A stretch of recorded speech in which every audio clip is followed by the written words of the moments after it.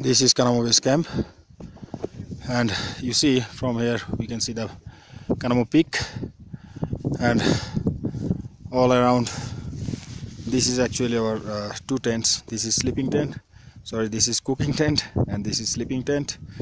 And there are some mules. We have we brought two mules and another uh, kid mules and there are spectacular view all around this is the only water source of this base camp which is this water source flows up to that uh, valley. From there we collect our drinking water and cooking water also